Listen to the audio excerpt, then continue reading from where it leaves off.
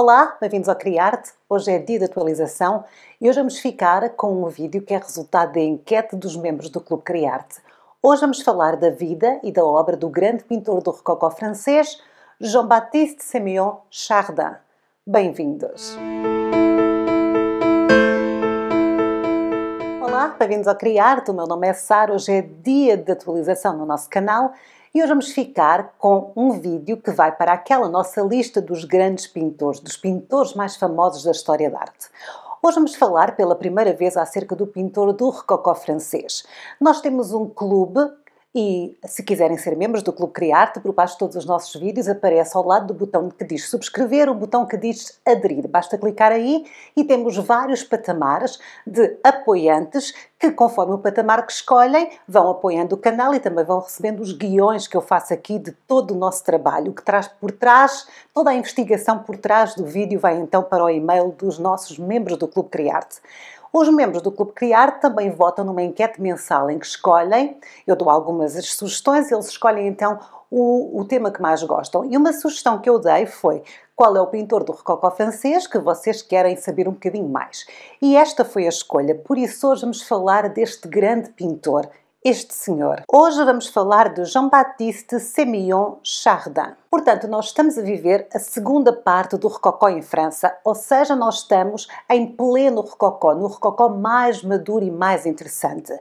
Este período do Rococó francês começa quando este senhor que estamos a ver, que é o rei de França, o Louis XV, quando ele então ocupa o seu trono, o trono que era dele e que até então era de um regente isto em 1722. E o Luís XV dá o apoio necessário então para mais pintores, rococó, mais arquitetos começam então a surgir, a brotar por todo lado. O Luís XV gostava desta estética, a sua corte volta para Versalhes, porque no período da Regência tinha saído de lá, mas volta para Versalhes e então há uma grande explosão da estética rococó nomeadamente dois outros pintores, o François Boucher, que nós já falámos aqui, temos muitas análises da sua obra. Este era um dos preferidos do rei e da sua famosa amante, a Madame de Pompadour, que nós também já analisamos a obra dela aqui no Criarte. Portanto, o François Boucher era sem dúvida o pintor favorito do rei e da corte. Era o pintor del roi. Mas havia um outro pintor que era o favorito das massas. E esse também temos análises de obras dele aqui no canal, é este senhor, Jean Honoré Fragonard. Apesar de não ser tão querido pela alta sociedade, o Fragonard é sem dúvida o pintor mais conhecido do Rococó. Em 1767, ele pinta a obra O Baloiço, que nós temos análise aqui no canal. Eu vou deixar o card aqui no ecrã, se, quiserem, se tiverem curiosidade para saber o que nós temos a dizer acerca desta obra. Esta obra, na verdade, tornou-se o símbolo do rococó. Quando se pensa em rococó francês, pensa-se imediatamente no Baloiço e em Fragonard. É uma obra belíssima, deliciosa de ser analisada e extremamente rococó. Mas hoje não vamos falar do François Boucher, o pintor preferido da alta sociedade, não vamos falar de Fragonard, o pintor favorito das massas. Vamos falar de um pintor muito mais discreto, com uma estética mais estruturada, mais calma. Por isso, muitas vezes, ele passa assim um bocadinho em branco, as pessoas não se lembram tanto dele. No entanto, o Chardin, que vamos falar hoje, é considerado o maior pintor de naturezas mortas do século XVIII, do período do Rococó francês.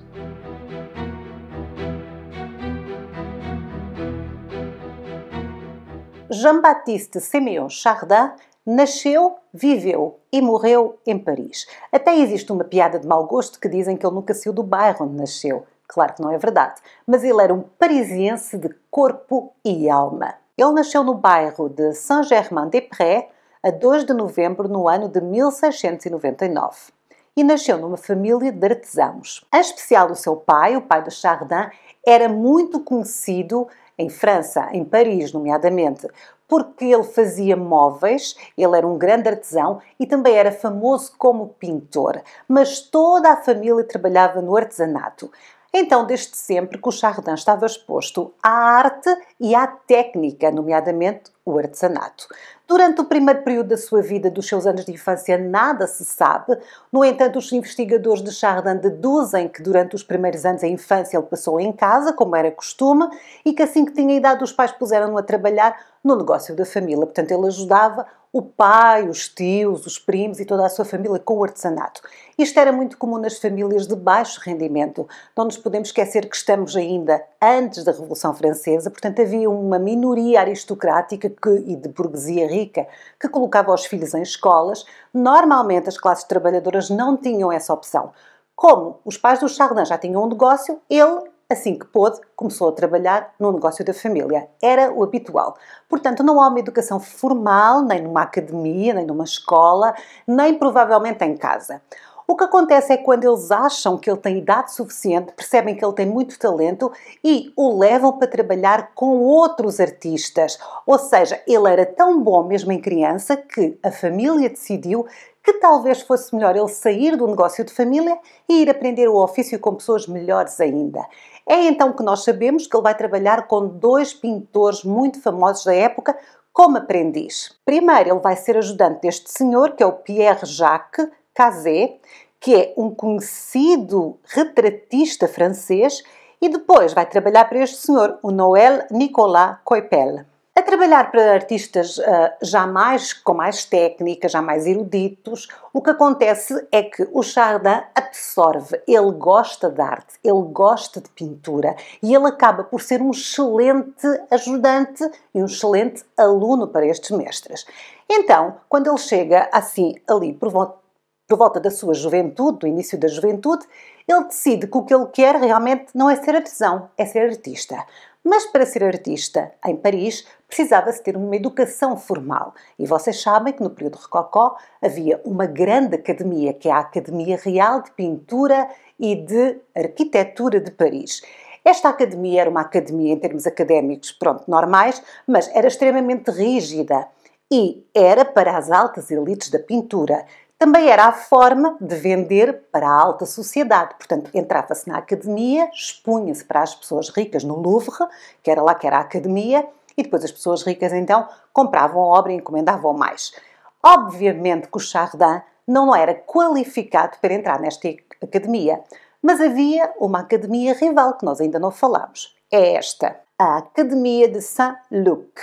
Foi fundada em 1391, era extremamente popular entre os pintores porque aceitava aquelas pessoas que não conseguiam, por um motivo ou outro, ou por falta de dinheiro, ou por falta de instrução, ou por ter o género errado. Portanto, havia muita gente que não conseguia aceder à Real Academia de Pintura, então vinham para aqui, para Saint-Luc. Na verdade, a Academia de Saint-Luc é muito interessante de se estudar porque é mais menos rígida, mais tolerante, mais livre, mais aberta às novas ideias. E tinha um fator que a distanciava muito da Real Academia, que era o facto de aceitar mulheres. Portanto, todas as grandes pintoras do Rococó e do século XVII e XVIII em França tiveram a sua instrução académica na Academia de Saint-Luc, porque esta era a única que aceitava mulheres. A Real Academia, aquela que tinha a bênção de Sua Majestade, não aceitava mulheres. Com o tempo isto foi mudando, mas a discrepância foi sempre muito grande. Aqui, na Academia de Saint-Luc, com o seu espírito aberto, menos academicista, acabaram por chegar a receber 130 membros do sexo feminino. Isto no século XVIII. E exatamente ao mesmo tempo, a Real Academia aceitou quatro. Portanto, estão a ver que era, apesar de ser um, um, de continuar a ser um ensino rígido e académico, era, no entanto, mais livre. Depois tínhamos aqui outro problema com o Chardin. O Chardin era muito conhecido em termos da academia.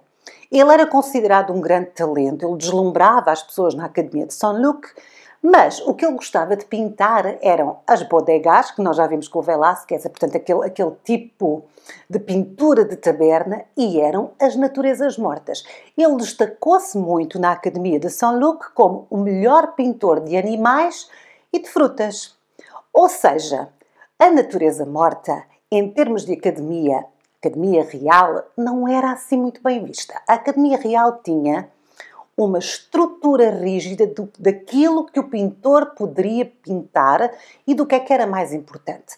Em primeiro lugar, eles destacavam os temas históricos. Portanto, na hierarquia de géneros, o primeiro lugar para os melhores pintores iam todas as encomendas dos temas históricos.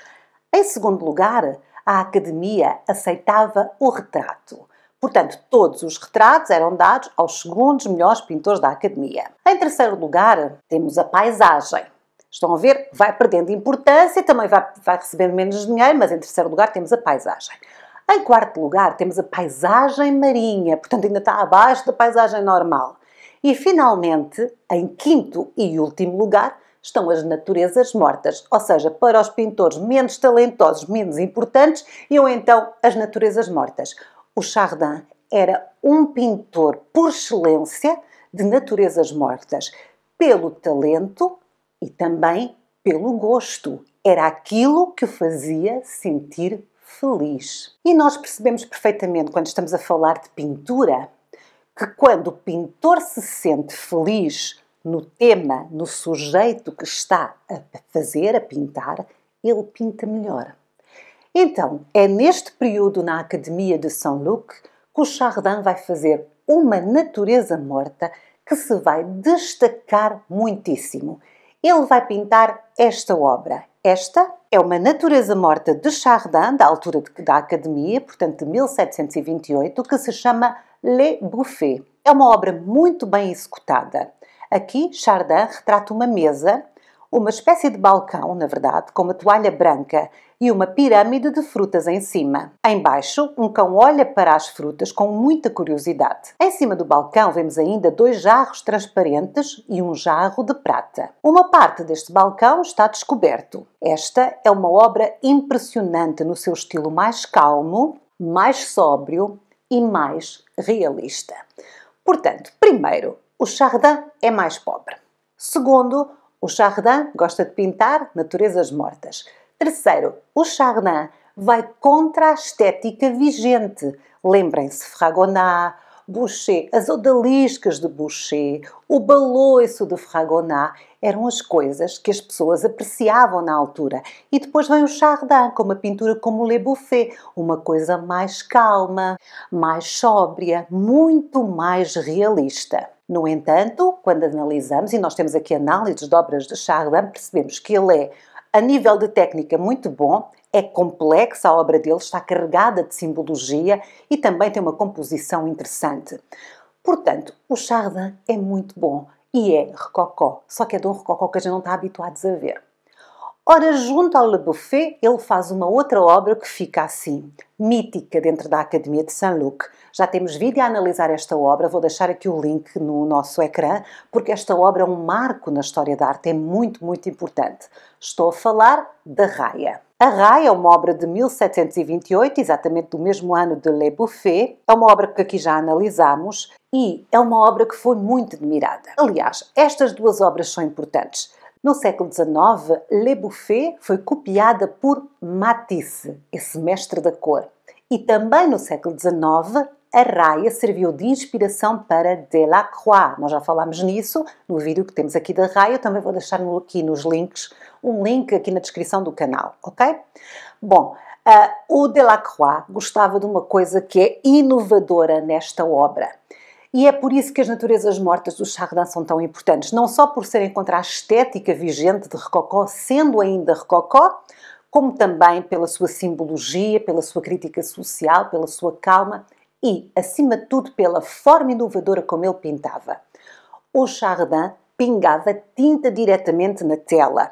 Usava o chamado impasto, que é um monte de tinta pouco diluída para criar expressividade e para passar as suas ideias. Portanto, à primeira vista, quando olhamos para a raia, por exemplo, é um tema calmo, é um tema sério, é um tema que não é muito dramático, mas quando começamos a analisar tudo aquilo que está aqui subjacente, toda a metáfora desta obra e a forma como ele expressa toda essa metáfora através do uso da cor da pincelada rápida, nós percebemos que estamos realmente perante uma nova técnica de pintura.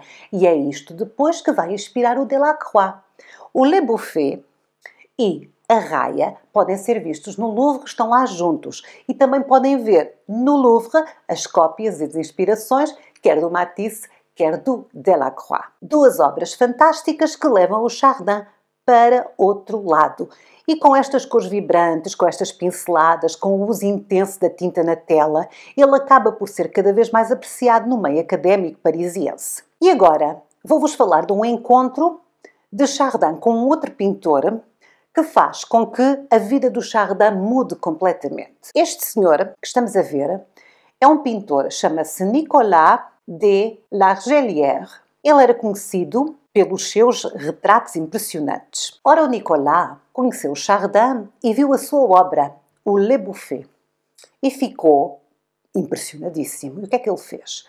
Comprou a obra ao Chardin, esta obra estava na Academia de Saint-Luc, comprou a obra e ofereceu a obra à Real Academia de Pintura e de Arquitetura de Paris, aquela dos snobs.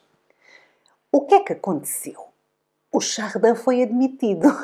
Porque quando eles viram aquela qualidade, apesar da natureza morta não ser considerada assim no top dos tops da pintura, era inegável o talento de Chardin.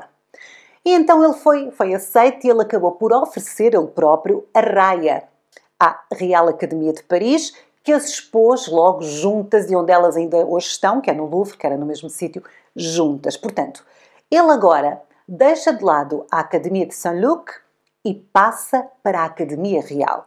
Isto leva a quê? A que o Chardin seja mais procurado, porque a Real Academia tem outro tipo de clientes, outro tipo de pessoas dispostas a comprar obras, que são os que têm dinheiro para investir, não é verdade? Podemos considerar que a partir de 1728, que foi quando o Chardin encontrou o Nicolas de Largellière, a partir daqui iniciou-se a ascensão de Chardin à fama e também ao comércio da sua própria obra. Portanto, a Academia de Saint-Luc continuou, ela mais tarde foi encerrada por o rei Luís XVI, porque a Real Academia não queria competição e então acabou por fazer tantas intrigas e tantas queixinhas que o rei decidiu encerrar a Academia de Saint-Luc. No entanto, a Real Academia acabou por uh, ingressar, por, por, ir buscar grande parte dos pintores da Academia de Saint-Luc. E a partir de agora vamos então entrar numa fase diferente da carreira do Chardin, que é aquela fase em que ele vai ser rico.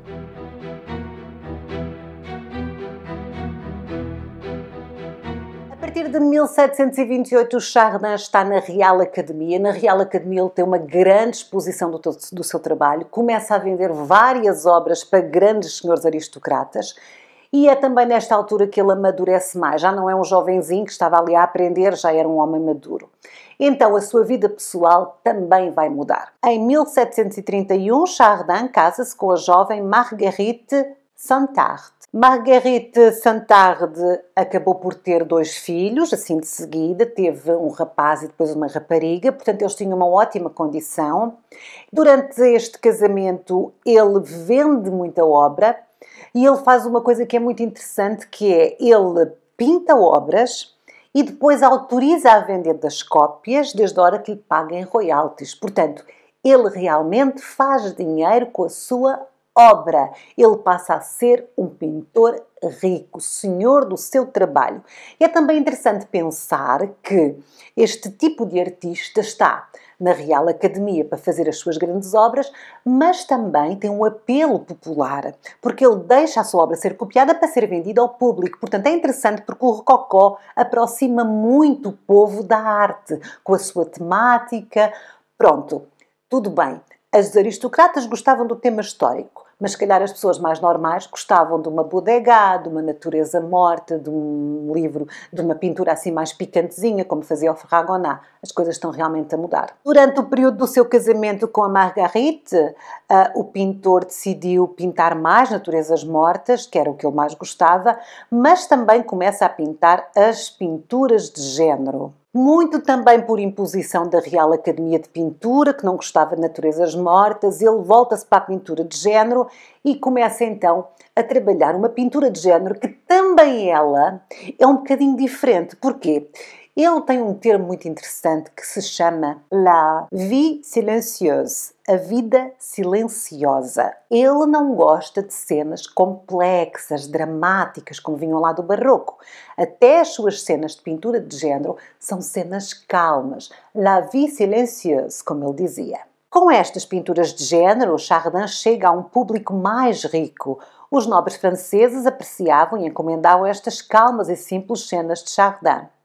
São desta fase as obras que estamos a ver, como a Oração de 1740. Aliás, desta obra, o Chardin pintou duas versões, uma das quais ofereceu ao rei Luís XV. E é interessante porque ambas as obras, as duas, as duas versões que ele pintou, estão as duas no Louvre. Podem ser consultadas as duas no Louvre. É muito interessante. Eu, eu por acaso, já estive lá a compará-las.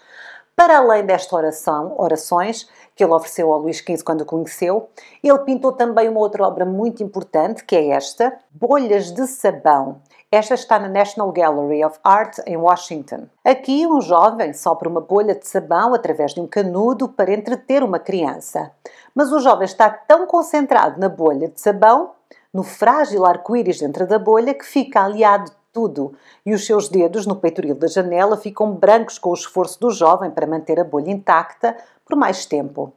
Uma impossibilidade, claro. E é muito assim que o Chardin funciona, faz-nos pensar. É uma impossibilidade manter uma bolha de sabão por mais tempo, tal como é uma impossibilidade ficar mais tempo nesta inocência juvenil. Também é um, remete-nos para o quão breve estes instantes são, o quão breve a inocência é e o quão breve a própria vida é. O Chardin é um pintor de metáforas, é um pintor de cenas calmas, mas profundas. Tudo aqui é profundo. Parece banal, mas não é. Ele é um pintor moderno nesse sentido. Está sempre alguma coisa para além do que, do que nós estamos a ver. Portanto, é um pintor que nós só apreciamos, o Chardin, e talvez por isso é que ele não seja tão conhecido quanto os outros. É assim, é fácil apreciar modalisca, é fácil apreciar o vestido da Madame Pompadour, é fácil olhar para o balão e achar piada. É mais difícil, talvez, sentir o Chardin, porque o Chardin tem que ser descodificado, apreciado, conhecido. A sua, a maneira de ver a sua obra é como a sua obra tem que ser la vie silencieuse, de forma calma. Esta obra é lindíssima, é na verdade uma poesia da realidade. Quanto mais conhecido era Chardin, quanto mais apreciado era, mais ele ganhava dinheiro. Eh, eu devo destacar, eu já vos falei nisto, mas eu devo destacar que ele foi o primeiro pintor a cobrar royalties pelas suas cópias das suas obras, portanto, estava muito à frente, e foi também considerado um dos pintores mais ricos do período Rococó, porque ele fazia-se valer, portanto, ele cobrava pelo seu trabalho, como é obviamente devido. Ele não dependia exclusivamente dos aristocratas para lhe comprarem estas pinturas de género, ele não dependia exclusivamente da academia para vender as suas naturezas mortas, ele vendia diretamente ao público através das cópias que ele autenticava. Ele era extremamente popular, era um modelo de negócio inovador para a altura uh, e ele ficou bastante rico. Chardin era rico, sim senhor, estava cada vez a ser mais apreciado pelos compradores de arte, no entanto, aconteceu uma tragédia na sua vida. Em 1735, a sua esposa Marguerite faleceu. Pouco depois, a filha de ambos também faleceu. Portanto, eles tinham dois, dois filhos juntos, um mais velho e a rapariga mais nova. A bebê na altura tinha para aí dois anos e acabaram por falecer as duas com muito pouco tempo de diferença. Ele ficou arrasado, ele era uma pessoa muito calma, muito dada à família. Mesmo assim, apesar de todo este sofrimento, ele continuou a pintar. E a sua popularidade era enorme dentro e fora da corte. Em 1740, o Chardin foi oficialmente apresentado ao rei Luís XV e foi aqui então que ele ofereceu a obra Orações. Um, e ele também expunha regularmente na Academia Real e, para além de expor regularmente, ele trabalhava na Academia. Portanto, foi-lhe dado um ordenado, eles chamavam-lhe uma mensalidade, era um ordenado, e ele ajudava a organizar exposições, as exposições dos salões, portanto, tudo lhe passava pelas mãos e ele era uma pessoa muito académica, muito calma e extremamente competente. No entanto, estava a viver um período difícil da sua vida. Mais tarde ele acaba por voltar a casar, um segundo casamento, isto em 1744, com a Françoise Marguerite Poget. Na verdade, nós temos uma imagem da Françoise, que estamos a ver aqui na tela, que ele pintou 30 anos depois do casamento. Portanto, eles ficaram durante muito tempo juntos. A Françoise também engravidou, mas a, a, o bebê também faleceu. pouco depois de ter nascido. Portanto, ele continuava casado com a Françoise e ainda tinha um filho mais velho. Esse filho mais velho uh, era um artista, ele seguiu as pegadas do pai, diziam até que ele era muito talentoso. Ele ganhou uma bolsa do Grand Prix de Paris, ou seja, ele ia estudar para a Real Academia de Paris em Roma e foi, foi para a Itália, só que infelizmente cometeu suicídio em Veneza. Isto uh, destabilizou muito o Chardin perdeu todos os filhos, em especial o, filho que era mais velho, que era o Jean-Pierre, era muito ligado ao Chardin. Eles trabalhavam juntos, ele ensinava-lhe muitas coisas, portanto, era o, o, filho também era muito ligado ao pai, queria ser artista como ao pai. Portanto, perder o filho desta forma foi uma grande tragédia e abalou muito o Chardin, que já era uma pessoa muito séria, muito, muito sisuda, muito fechada, portanto, não era assim daquelas pessoas exuberantes. Mesmo com tudo isto, foi exatamente nesta altura que o Chardin estava no auge da sua carreira. Os seus patronos e os seus clientes eram os mais ricos nobres de Paris e até o próprio rei lhe pagou 1500 livros pela obra Senhora com um órgão e um pássaro. E são desta época trabalhos impressionantes, mais académicos, mas impressionantes, como as suas pinturas de género mais sublimes, como este, que é a enfermeira, temos que ressaltar aqui um novo período da vida do Chardin. Quer dizer, depois de tudo isto que está acontecendo na sua vida, ao abalar, ele tem os seus maiores êxitos comerciais, mas vocês reparem que neste, neste, nesta obra, A Enfermeira, é uma pintura de género que já não nos está a retratar o ambiente calmo da alta sociedade. Pois não? Pois é. O Chardin é extremamente conhecido porque ele pintou aquilo que se chama o terceiro estado, os invisíveis, aquelas pessoas que normalmente não faziam parte da obra de arte, as criadas, as professoras, as enfermeiras, as pessoas que limpavam as ruas, entendem? Ele começa a pintar pintura de género, cenas da vida, mas cenas da vida fora da rica aristocracia de Paris.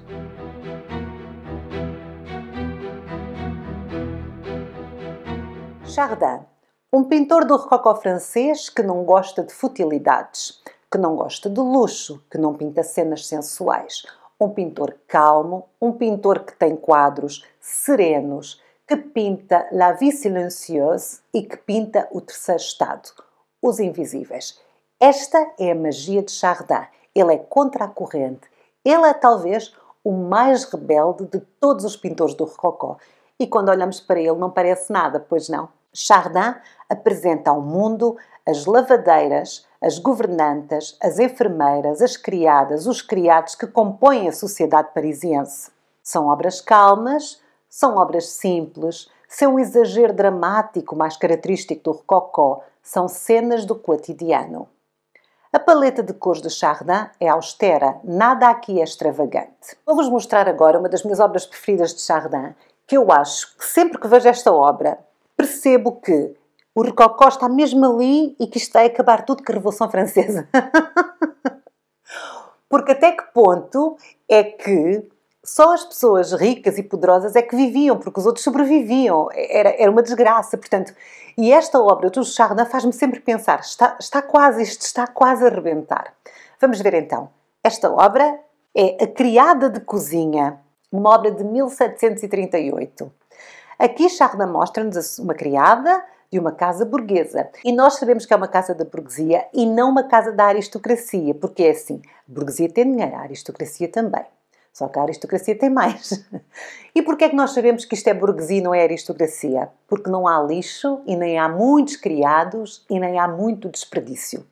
Há fartura, mas não há excesso, porque a aristocracia era tudo em excesso. Nós já vimos aqui imensas obras que é assim, era demais, não é verdade? Era mesmo, mesmo demais.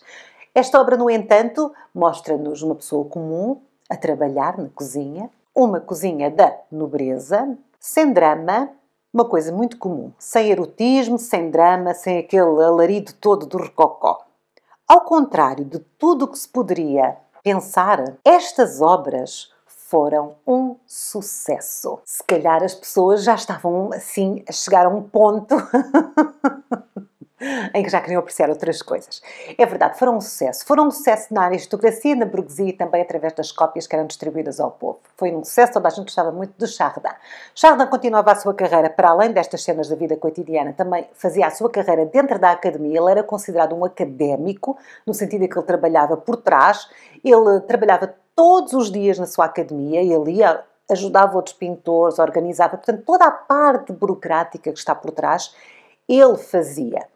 Mas as coisas vão mudar mais uma vez, portanto, nós temos aqui algumas mudanças na vida do Chardin. O Chardin agora já está com muito mais idade, está um bocadinho farto das pinturas de género, verdade seja dita, porque vocês lembram-se que a grande paixão dele não era nada disto, a grande paixão dele são as naturezas mortas. E dentro do mundo da academia isso não era bem-vindo, mas ele chegou a uma idade, já estava com dinheiro, Chegou uma idade também já estava um bocadinho desiludido da vida, perdeu os filhos, não queria saber, na verdade ele não queria saber. E decidiu voltar para o seu grande amor, para as naturezas mortas. A vida na academia também estava a mudar, tinha um novo, tinha chegado um novo diretor que não gostava nada de Chardin, considerava um velho, da velha guarda, um antiquado, sem talento, humilhava-o. Uh, Lembram-se que eu disse que ele tinha um salário, portanto, eles, eles pagavam mensalmente uma quantia por ele, por ele trabalhar na academia. Ele reduziu-lhe isso para quase metade, portanto, não se suportavam. E este novo diretor da Real Academia é este senhor Jean-Baptiste Marie-Pierre. Ele é muito conhecido, na verdade. Ele era pintor, desenhista, administrador bastante poderoso e era um novo diretor que abominava, acima de tudo, naturezas mortas e pinturas de género. Portanto, saiu a sorte grande ao Chardin. Deste período são obras magníficas de Chardin, vamos ver, porque como Chardin, vocês já perceberam, era contra a corrente, diziam que ele não devia fazer naturezas mortas e ele começa a fazer estas coisas maravilhosas. Estão a ver, temos aqui a natureza morta com a raia, temos a natureza morta com coelhos, temos a fonte de cobre, enfim, alguns dos seus mais magníficos trabalhos de natureza morta. Com o passar do tempo, uh, o novo diretor acabou por o despedir, mandou-o embora e ele foi. ele também não estava já para muita coisa. Um, vários problemas então começaram a surgir na vida do Chardin. Primeiro, sair do, do mundo académico, depois de tantos anos de carreira, por muito que ele quisesse fazer o que queria, eh, não foi bom, especialmente a maneira como saiu, de uma forma humilhante, sendo considerado um velho, ultrapassado, enfim. Depois ele teve um problema de saúde com os seus olhos, portanto, a visão, ele estava a perder a visão. E o que ele fez foi, uh, em vez de continuar a pintar com óleo, ele decidiu experimentar uma nova técnica, novos materiais. Ele achava que assim não esforçava tanto a vista, então ele começou a pintar com pastel. Portanto, o Chardin é considerado um dos precursores da pintura com pastel. O Chardin dizia que não pintava com as cores, pintava com os sentimentos, portanto, para ele, óleo ou pastel era a mesma coisa e acabou por fazer algumas obras lindíssimas, como esta que estamos a ver, que é um vaso de flores de 1760 e também esta, A Natureza Morta com Caneca Branca, de 1764. No entanto, claro que no mundo da arte as pessoas não apreciavam. Muitas vezes as pessoas achavam que a obra de arte tinha que ser óleo na tela. Às vezes ainda há quem ache isso. Portanto, isto não era apreciável, não era rentável. O Chardin estava fora do mundo da arte.